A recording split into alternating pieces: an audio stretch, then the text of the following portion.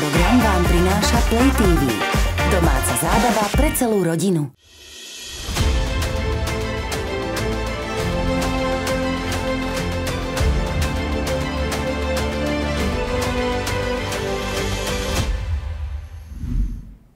Po letných olympijských hrách v Paríži, na ktorých sme vybojovali len jednu bronzovú medailu, nasleduje už tradične Paralympiáda, na ktorú sme vyslali 26 parašportovcov a očakávame, že tých medailí prinesú viac.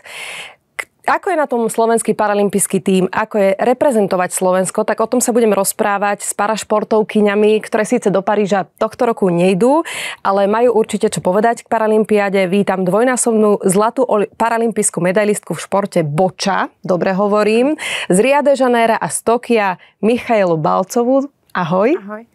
A tiež reprezentantku v paradrezúre, zakladateľku iniciatívy Sme si rovní, Luciu Krivosudskú. Ahoj. Ahoj. Tak začneme vôbec tým, prečo ste sa začali venovať tomu športu, ktorému sa venujete. Tak e, u mňa to bola v podstate taká náhoda troška. Ja som teda od detstva športovala vzhľadom na môj zdravotný stav. To vždycky bolo pre mňa veľmi prospešné.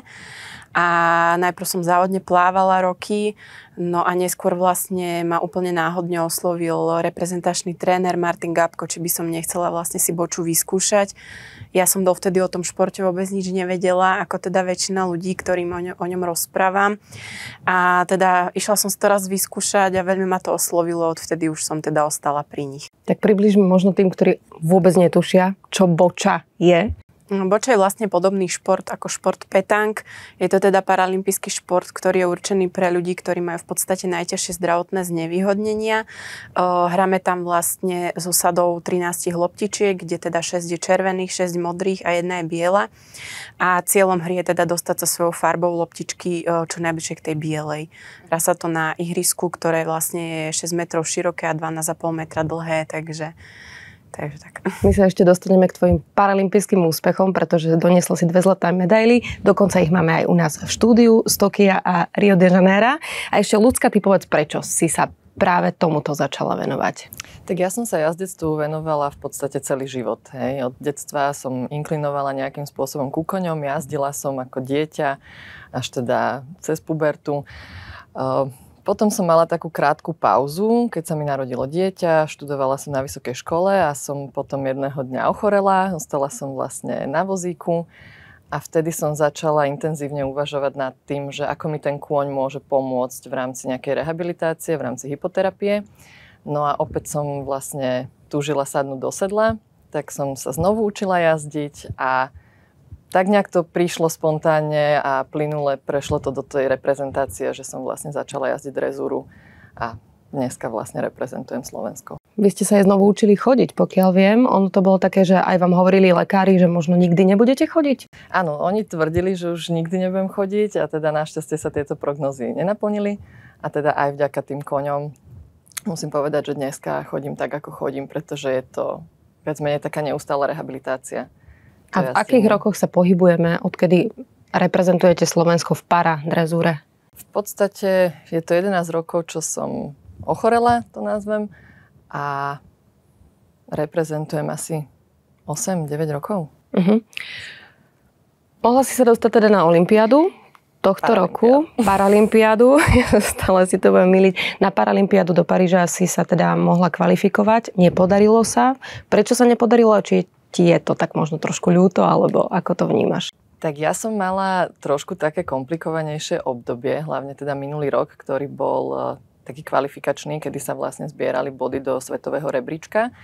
A musím povedať, že áno, mňa veľmi mrzelo to, že počas jedných pretekov, ktoré boli teda kvalifikačné, tak sa mi nepodarilo odštartovať, pretože sa mi tam kôň pri tréningu zranil a tým pádom vlastne neprešiel veterinárnou prehliadkou, takže nás to stoplo a musím povedať, že áno, tieto body mi veľmi chýbali v tom rebríčku a nakoľko už sme potom nemali financie vlastne na ďalšie preteky, možné kvalifikačné, tak už som vlastne nestihla si tie body dozbierať. Našťastie ale sa mi podarilo teda minulý rok s tým istým koňom, ktorý teda sa zranil, tak e, sme ho nejakým spôsobom zázrakom, neviem, s veterinármi skvelými dali do poriadku a mohla som ešte odštartovať na majstrovstvách Európy minulý rok, kde sa mi podarilo obsadiť, e, myslím si, že krásne 10. miesto. že dostať sa naozaj že do top 10 v rámci Európy bolo pre mňa ako taký splnený sen nejaký. No ale bohužiaľ tie body z majstrovstiev Európy sa nerátali do svetového rebríčka k Paralympiáde, takže mi to vlastne nič nepomohlo a mohla som mať len dobrý pocit. No a tým pádom vlastne bola jediná šanca už potom žiadať len o tzv. divokú kartu alebo bipartitnú kartu a tu som bohužiaľ nedostala. Ale beriem to tak nejak pozitívne, neviem, že Selavy, tak to malo byť. Kto ide teda za Slovensko? Takže Slovensko bude v Paríži reprezentovať druhá ľudská, ľudská Vladovičová. V podstate ona jazdí v kategórii Grade 1, čo sú vlastne krokové úlohy, kde jazdci predvádzajú vlastne všetky tie predpísané cviky v kroku na koni.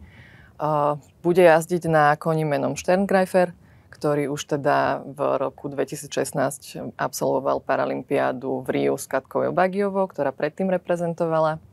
Následne vlastne v Tokiu sa tiež zúčastnil, ale s jednou českou reprezentantkou a teraz vlastne ľudská bude reprezentovať s týmto koňom. Tak snáď donesie nejakú medailu, budeme držať palce. A Miška, ty nejdeš tiež, pretože už si ukončila svoju aktívnu športovú kariéru v roku 2023. Prečo sa tak stalo? Áno, v podstate o, kvázi som bola aj trošku tak nominovaná už na, na Paralympiádu do Paríža, nakoľko som vyhrala majstrovstvo sveta a stal som sa vlastne svetovou jednotkou. Na nešťastie u nás sa zmenili nejaké pravidlá klasifikačné, ktoré teda mi nedovolili pokračovať v našej kategórii, alebo teda v mojej kategórii. A v podstate bola som z tejto kategórie vyradená, takže vzhľadom na to, že kategória, v ktorej by som teoreticky mohla súťažiť, nie je na paralympijských hrách, tak, tak sa nezúčastním Paralympiády ako športovec. To je kategória BC4, tak? Áno, Alebo... BC4 už nemôžem teda uh, podstate reprezentovať. Čiže BC1 až BC3 môžu reprezentovať? To je nejako odstupňované? Nie, aj BC4. V podstate máme 4 kategórie, je to vlastne od, e, závisí to od e, v podstate zdravotného znevýhodnenia. Ja som teda bola v kategórii BC4, ktorá teda bude na paralympijských hrách, avšak kvôli pravidlám, ktoré sa zmenili, už ja kvázi po zdravotnej stránke do tejto kategórie nespadám. A ako si prijala túto informáciu, keď už si sa možno aj videla, že budeš na ďalšej Olympi- Paralympiáde a že možno donesieš ďalšiu medailu? Tak uh, bolo to veľmi ťažké. Uh, naozaj v podstate sa mi tak nejak zo dňa na deň skončil ten môj sen. A nakoľko teda už som vedela, že v podstate v kategórii BC5, ktorá teda je iba na národných úrovniach, nemôžem v podstate uh, reprezentovať Slovensko na Paralympiáde, tak som sa rozhodla z tohto dôvodu svoju športovú kariéru v Boči ukončiť ale teda ostala som pri, pri nej a trénujem aktuálne juniorský tým bočistov, takže, takže snažím sa svoje skúsenosti naďalej odovzdávať mladším my sme sa aj pred začiatkom relácie rozprávali o tom, že mohli by sme ťa vidieť v Los Angeles eh, na Paralympiáde, ale možno aj v inom športe a že ľudská by ťa aj naučila jazdiť na koni. To si vieš predstaviť? Áno, áno, tak ľudská už eh, ma zobrala jazdiť na konia. zatiaľ, zatiaľ teda nerozmýšľam úplne nad tým, že by som začala v nejakom inom športe. Ešte stále je to taká doba, že stále spracovávam, čo sa všetko udialo a, a myslím si, že potrebujem nejaký ten čas na to, aby, aby som si tak nejak ujasnila vyjasnila, že či ešte teda sa chcem aktívne tomu športu nejakému venovať, ale teda možnosti samozrejme nejaké sú ďalšie a, a tie športy sú veľmi rôznorodé, takže myslím si, že ak by som sa rozhodla pre nejaký šport, tak, tak by bola možno ešte nejaká šanca v budúcnosti sa na nejakú paralympiádu dostať. Alebo čo to už nebude? Um, asi nie. Uh-huh.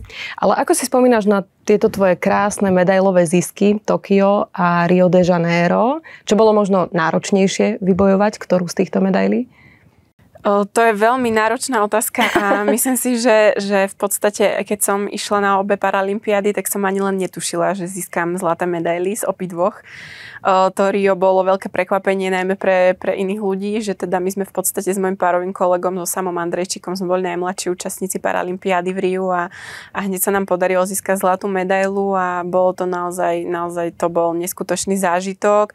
Tá Paralympiáda bola veľmi špeciálna, v podstate pri boči väčšinou nemáme žiadnych divákov a, a ak tak naozaj len málo a zrazu proste sme boli v arene, kde bolo enormné množstvo divákov, ktorí proste skandovali, kričali a bolo to úplne niečo iné, bola to úplne iná atmosféra, čo mne sa zaspáčilo a, a naozaj som videla, že veľa športovcov s tým malo veľký problém, že naozaj v takej atmosfére hrať. A samozrejme je to prvá, para, prvá zlatá medaila z Paralympiády, tá z Ria, takže určite bude navždy taká špeciálna. No a v podstate, keď sme išli do Tokia, tak sme obhajovali toto naše prvenstvo.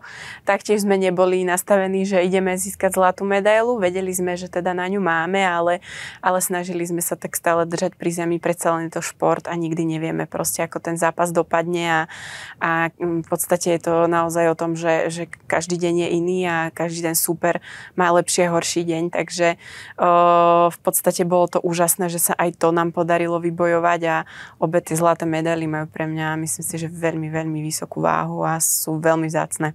Takže Paralympiáda je celkovo iná ako všetky ostatné súťaže aj? Určite áno, určite áno. A ty sa pôjdeš aj pozrieť teraz do Paríža? Áno, áno. Ja som sa rozhodla, že teda, keďže nemôžem súťažiť a teda tá Paralympiáda je teraz naozaj veľmi blízko, že pôjdem teda aspoň kolegov z Boče podporiť, takže ako mám aj nejaké lístky na Boče, z Boča zápasy, takže si to pozriem z tej druhej stránky. Takže bude to možno aj také trošku emočné, že to budeš tak prežívať. Pre Myslím si, že určite, určite to bude aj emočné. O, úplne som ešte nebola v takomto, v takomto stave, že v podstate v tom opačnom garde, ale teším sa aj na to a, a bude to možno troška menej stresu a, a budem si to užívať. Tak si to určite uži, aj za nás. My si to samozrejme pozrieme v televízii. A ty sa chystáš, Ľudská?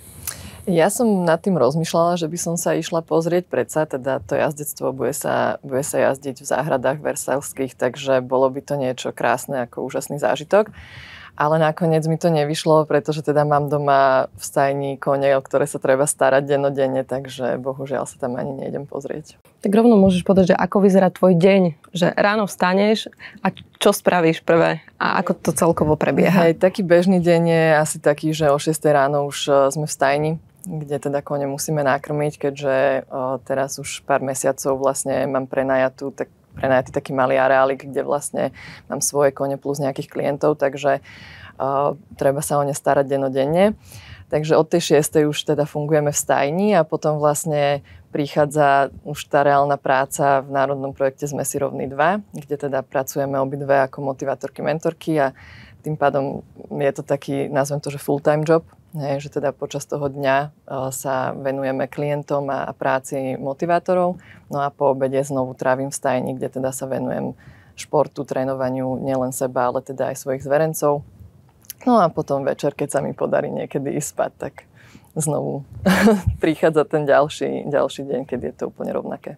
Tak rovno môžeš povedať, alebo môžete obidve povedať o iniciatíve Sme si rovní. Ty si zakladateľkou, alebo len si účastníčkou zájazdu. Tak ja som len účastníčkou zájazdu, by som povedala. Takže obidve ste v tejto iniciatíve, Áno. čiže čomu všetkému sa venuje, čo by možno nám, zdravým ľuďom, mala táto iniciatíva odkazovať tak všeobecne? Ja by som možno povedala tak o, úplne jednoducho, že teda sa snažíme v rámci projektu Sme si rovní 2 pomáhať ľuďom po nejakej náhlej zmene zdravotného stavu a teda ľuďom s nejakým zdravotným postihnutím ako keby sa vrátiť naspäť do života aktívneho, e, zmeniť uhol pohľadu a možno ešte by som povedala, že sa snažíme tak rúcať bariéry, hlavne tie spoločenské.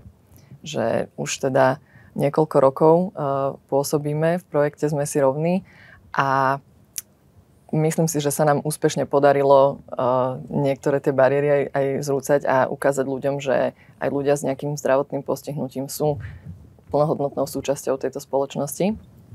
A teda tentokrát sa zameriavame práve na zamestnanosť klientov. V podstate pomáhame klientom v rôznych oblastiach. Aký problém majú, čo potrebujú riešiť, vždy si klient proste určuje nejaký ten cieľ a my sme mu nápomocní a snažíme sa ho motivovať a ukázať mu, že naozaj aj napriek tomu nepriaznivému osudu a tomu zlému zdravotnému stavu sa dá žiť plnohodnotne a aktívne. A aké sú, Miška, najväčšie spoločenské bariéry, s ktorými ste sa stretli Najväčšie spoločenské bariéry, o, myslím si, že si to prežívame alebo zažívame všetci, ktorí máme handicap a stále, ešte stále je možno trošku problém s tým, že vlastne tá zdravá populácia nás možno úplne nevie prijať, aj keď si myslím, že už je to oveľa, oveľa lepšie, ako keď si pamätám, keď som bola napríklad dieťa. Ale teda stále myslím si, že každý z nás zažíva nejaké také tie pohľady a, a keď vidia vozík a že sa za nami niekto otáča, Takže o, možno aj našimi nejakými príbehmi sa snažíme v podstate inšpirovať nielen teda ľudí, ktorým sa stal nejaký úraz, alebo teda náhle sa ocitli v nejakej ťažkej zdravotnej situácii, ale teda aj zdravým ľuďom sa snažíme v podstate ukazovať, že dokážeme žiť niekedy možno aj aktivnejší a plnohodnotnejší život ako tí zdraví ľudia menej sa ľutovať. Zdraví ľudia sa často ľutujú a za nič. No a ešte v tejto iniciatíve v podstate možno aj pomáhate niekomu, aby sa venoval športu nejakému. Možno bol budúci paralimpionik. Áno, tak v podstate o, Sme si rovní 2 projekt nadvezuje na projekt Sme si rovní, ktorý bol teda o, v podstate zameraný tak všeobecnejšie. O, oba tieto projekty v podstate sme absolvovali obe Máme teda po celom Slovensku centra včasnej pomoci, takže naozaj ktokoľvek si môže vlastne vyhľadať naše centra, môže nás osloviť a teda klienti si sami určujú, na čom by chceli pracovať a my sme len takí kvázi motivátori, ktorých tou cestou potom vedú a možno máme tie skúsenosti, že im vieme možno ľahšie poradiť, ako čo vybaviť a trošku ich tak nasmerovať, aby išli tou správnou cestou, aby možno na tej ceste neboli sami. Uh-huh. Ja som sa ľudské pýtala, ako vyzerá jej deň. Postupne sme sa dostali k tejto iniciatíve, tak môžeš ty teraz povedať, ako vyzerá tvoj taký aktívny deň tak uh, možno, možno mám toho trošku teraz menej, keďže už aktívne nešportujem, ale teda v podstate okrem toho, že som motivátorka, mentor, mentorka, tak som v centre Bratislava aj vedúca, takže som zodpovedná vlastne za, za mojich kolegov a za ten chod toho centra, aby všetko išlo v poriadku. Takže, takže v podstate tá práca, venujem sa tým klientom. Uh, v podstate okrem toho teda trénujem ten juniorský tím, takže snažím sa venovať stále aj tej boči. A teda po 15 rokoch v tom aktívnom športe sa snažím aktuálne venovať viac aj tej svojej rodine, ktorú som troška zanedbávala. Obe sa venujete trénerskej činnosti. Je to to, čomu ste sa chceli aj predtým venovať, kým ste začali s týmto športom, alebo to tak nejako prirodzene prišlo? U mňa to prišlo asi tak prirodzene. Že ja v podstate, keď som e, ochorela a zostala som e, v 22 rokoch na invalidnom dôchodku, tak e, som uvažovala nad tým, že čo vlastne budem s toľkým časom voľným robiť. A keďže teda som celý život jazdila a naozaj to bola moja záľuba obrovská vášeň, tak som si povedala, že urobím si nejaký kurz trénerstva a že teda začnem učiť možno detičky, hej, že niečo proste jednoduchšie. No a postupne to vlastne prerastlo do toho, že naozaj mám zverenky, ktoré teda pretekajú v rámci Slovenskej republiky. Dokonca moja dcéra jazdí, tento rok už sa aj podarilo obja- obhájiť titul majsterky Bratislavskej oblasti v drezúre v kategórii Super. detí. Do, mám jednu zverenkyňu, vlastne to bola taká moja prvá, ktorá naozaj začala športovať a spolu sme sa dostali až k titulu majsterky juniorov v drezúre, mladších juniorov. Takže tak nejak to tak plynule prešlo k tomu a naozaj, že ja musím povedať, že mňa to veľmi naplňa a baví. Je to, je to drina, že ten tréner musí byť veľakrát aj psychológ, musí byť coach, musí byť kamarát, musí byť proste aj drsný v niektorých veciach. Ale naozaj, keď vidím, ako sa mi tie dievčatá alebo tí zverenci menia pred očami, aj tie kone, ako sa mi menia, tak si vždy poviem, že to má zmysel. Ja by som úplne povedala úplne to isté. Naozaj nikdy by som nepovedala, že by som raz mohla trénovať. Uh, prišlo to tiež u mňa úplne samo a, a naozaj ma to baví a v podstate už aj počas mojej aktívnej kariéry som teda už trénovala tých juniorov alebo teda nejakú skupinku ľudí a naozaj uh, mňa to tiež veľmi baví a som veľmi šťastná, že môžem tie svoje skúsenosti odovzdávať. Uh, na základe toho, že teda sa mi podarilo získať veľa tých úspechov, tak oni v podstate vo mne vidia možno aj taký ten vzor a naozaj veľmi, veľmi počúvajú to, čo im vravím a berú to naozaj veľmi seriózne a vážne aj napriek tomu, že sú ešte mladí mladí. A teda tiež sa mi s nimi už podarilo nejaké také výsledky získať, dosiahnuť. Minulý rok sme mali majstrovstvo sveta juniorov dokonca, kde sme teda získali zlato, striebro aj bronz, takže ja si myslím, že ešte viacej prežívam tieto ich výsledky ako tie svoje a, a naozaj teda je to pre mňa veľmi vzácne, keď, keď ich vidím, že proste niečo získajú a niečo vyhrajú a, a snažím sa teda, aby, aby stále pokračovali v tom, aby ich to bavilo hlavne, lebo to je pri športe veľmi veľmi dôležité, aby to nerobili z nejakej nutnosti, ale aby ich to naozaj bavilo. Takže, takže naozaj je to, je to úplne niečo iné, ale je to krásne. A ak by sme mali zhodnotiť úroveň parašportu na Slovensku a aká je celkovo celosvetová konkurencia, tak ako to vidíte? Tak v rámci toho jazdectva musím povedať, že naozaj tá konkurencia je obrovská. a ten šport išiel neuveriteľným spôsobom dopredu za posledné roky. A už to teda nie je tak ako kedysi, že sa nejakí handicapovaní ľudia vozili na koňoch. Teraz je to naozaj šport, je to tvrdý šport, sú tam krásne zvieratá, naozaj, že, ktoré sú šlachtené vyslovene na to, aby, aby reprezentovali v tejto disciplíne. Čiže je to veľmi náročné aj teda finančne a hlavne, keď to, keď to mám porovnať aj s tým, že my máme obrovské, obrovskú pomoc zo Slovenského paralympijského výboru a zo Zväzu telesne postihnutých športovcov, za čo sme nesmierne vďační, pretože bez ich podpory by sme asi nemohli ani reprezentovať a chodiť po tých pretekoch, pretože je to naozaj veľmi finančne náročné. Ale v tých iných krajinách naozaj majú tú podporu trošku inú. Tam, eh, keď vidím koľkokrát, že prídeme na preteky, ja si tam koňa veziem sama. Mm-hmm. Čiže odšoferujem bežne tisíc kilometrov, eh, postaram sa o koňa, hej, dneska už teda väčšinou si, nos, nosím so sebou aj nejakého grúma, to znamená človeka, ktorý mi pomáha s tým zvieraťom. Predtým to tak ale nebolo, čiže všetko som zaobstarávala sama, ešte popri tom som mala podávať nejaký výkon, tak to bolo naozaj veľmi náročné a, a až by som povedala, že to boli nadľudské výkony z iných krajín, keď prídu reprezentanti, tak majú proste obrovské kamióny, hej, majú tým ľudí, ktorí sa stará o nich, starajú sa o kone. Čiže vždy to bolo o tom, že naozaj sme sa tam cítili aj ako takí outsideri.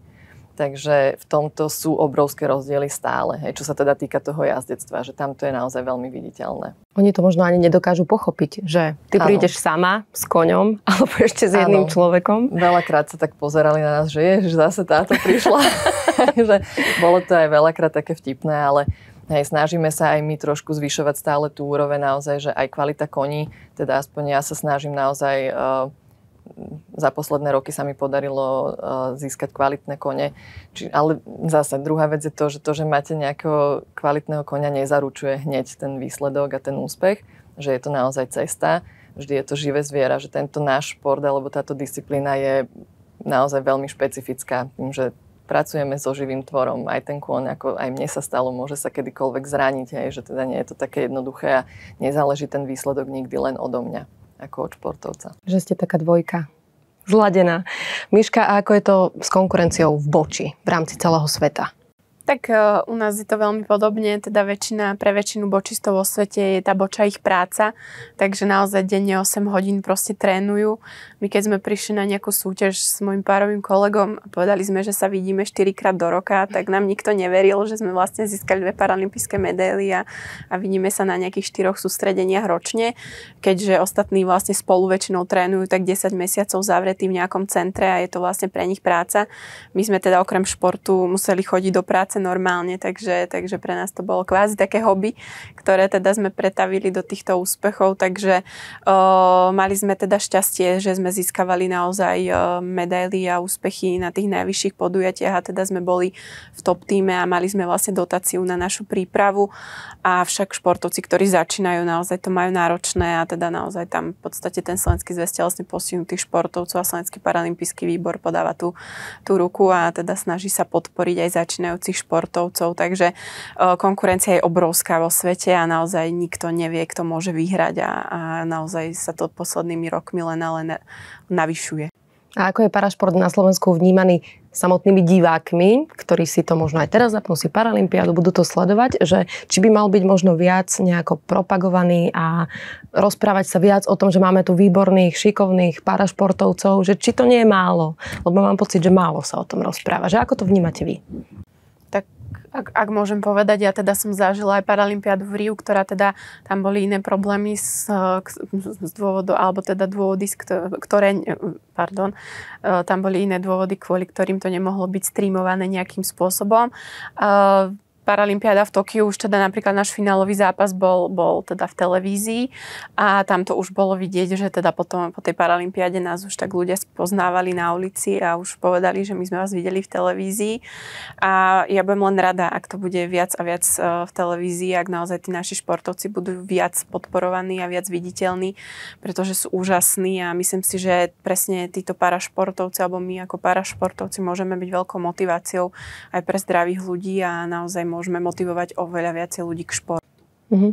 Lucka, ty to ako vnímaš? Ja to vnímam veľmi podobne, aj keď teda za posledné roky si myslím, že naozaj sa trošku aj to povedomie zvýšilo a naozaj sa mm, je o mnoho viacej priestoru aj v médiách na parašport, na prezentáciu nášho športu, ale stále to tiež si myslím, že úplne nestačí. Uh, takisto máme trošku možno nevýhodu aj v rámci nejakých uh, možností získať sponzorov. Hej, že naozaj nie je to úplne jednoduché získať sponzora, keď ste parašportovec, pretože stále nás nepovažujú uh, za profesionálnych športovcov a je to veľmi komplikované. Čiže naozaj, tak ako aj Miška hovorila, že my naozaj chodíme do práce a na to, aby sme si mohli dovoliť vôbec ten šport robiť. Za čo ale sme vďační, lebo keby sme nemali možnosť vlastne pracovať e, v tomto projekte napríklad, tak asi by sme sa ťažko uchytili na otvorenom trhu práce takým spôsobom, aby sme si to mohli všetko dovoliť a, a vedeli sklbiť vlastne aj tú športovú aktivitu s tou prácou. Čiže aké by to bolo, ak by to bolo ideálne? Alebo aspoň trošku ideálne na Slovensku? Ideálne asi by sme boli veľmi naivní, keby sme si mysleli, že to niekedy bude ideálne, ale uh, ja si myslím, že už len to, že sa naozaj začne viac rozprávať o tomto športe a že bude trošku možno väčšia podpora z verejnosti, tak uh, nám to dodá možno viacej seba dôvery a také seba istoty v tom, že ideme s hrdosťou reprezentovať a že naozaj sa nebudeme cítiť viac ako takí outsideri, ale že budeme mať vlastne takú tú podporu tej krajiny za sebou. Ja to napríklad vnímam aj z pohľadu toho, že som mala možnosť organizovať nejaké jazdecké preteky na Slovensku a v rámci toho som si povedala, že dobre, keď už, tak e, zaradíme aj kategóriu para, hej, že teda budeme jazdiť aj my, nech to vidí tá verejnosť, že naozaj je to šport a že naozaj makáme, aké výkony podávame. A mňa vtedy veľmi potešila teda jedna pani rozhodkynia, ktorá mi potom, ako som odjazdila, tak e, za mnou prišla a mi povedala, že ľudská musím vám povedať, že som bola zo začiatku veľmi skeptická. Že naozaj som nevedela, čo mám čakať ale že klobúk dole, tí zdraví sa od vás majú čo učiť. A toto bol pre mňa moment, kedy ja som si uvedomila, že aha, že naozaj musíme chodiť von a musíme to ukazovať, že naozaj sme tu a, a že robíme šport. Že to nie je naozaj, že sa hráme niekde hej, doma v stajni, ale že naozaj robíme šport a že reálne vieme, čo robíme a robíme to dobre. Možno si niekto povie, že je to menej divácky atraktívne ako klasická možno olimpiáda, pozrieť si paralympiádu, ale vôbec to tak nie je. Vôbec to tak nie. Ja napríklad ako naozaj stále teda hovorím o tom jazdectve, ale keď som ja prvýkrát videla tie výkony tých jazdcov, napríklad my máme 5 kategórií, že sme rozdelení podľa handicapu v 5 kategóriách 1, 2 a 3 grady tie jazdia v podstate v kroku a v kluse, že trošku menej technicky náročnejšie veci a kategória 4 a 5 to už sú výkony naozaj porovnateľné so zdravými jazdcami a veľakrát aj tí športovci, ktorí jazdia v rámci tej paradrezúry, tak reprezentujú a jazdia aj medzi zdravými. Čiže tam už naozaj sa jedná o ten vysoký šport. A vidieť to, ako vám jazdec, ktorý nemá nohu, hej, alebo s jednou rukou ovláda toho koňa a naozaj ho ovláda veľakrát lepšie ako ktorýkoľvek zdravý jazdec, tak to je naozaj že obdivuhodné. Takže už len si to pozrieť je motivačné pre kohokoľvek. A spomenula som na úvod, že 26 šport, parašportovcov ide na Paralympiádu do Paríža. V koľkých športoch teda budú reprezentovať Slovensko? V podstate reprezentujeme aktuálne v 8 športoch. Uh, myslím si, že, že je to fajn a že naozaj teda máme tam uh, takých tých najlepších z najlepších a verím, že teda prinesú čo najviac medailí. Z Tokia priniesli 11 medailí, tak ako to vidíte, aké sú šance našich paralympionikov? Za mňa, keď som si to tak počítala, by som povedala, že by to mohli obhájiť. Majú na to. A možno aj viac. Tak dúfajme, to by bolo úplne geniálne. A v ktorých športoch tak za teba? v podstate určite si myslím, že, že taký najsilnejší, možno jeden z najsilnejších športov, máme tu strelbu, máme tam vlastne Veroniku Vadovičovú, Radka Malenovského, tí si myslím, že majú veľké šance. O, potom aj v atletika, napríklad lukostrelba, um, stolný tenis, takže myslím si, že určite, určite bude vo viacerých športoch to zastúpenie takých tých najlepších a verím, verím že sa teda dostanú až, až do tých bojov o medaily. Ľudka, ty to ako vidíš? Ja to vidím tak veľmi podobne. Tiež, eh, keď som sa tak namatkovo pozerala, tak tiež určite si myslím, že v tej strelbe je veľká šanca. Takisto lukostrelba, stolný tenis, určite atletika. Myslím si, že možno ešte aj to plávanie by tam mohlo niečo výjsť a uvidíme, dúfame, že aj boča. Veľmi by sme si prijali, aby každý doniesol nejakú medailu, čo však nie je, je samozrejme možné pravdepodobne, ale budeme držať palce a naozaj je to šport, takže stať sa môže čokoľvek, ale veríme, že preto naši športovci urobia maximum.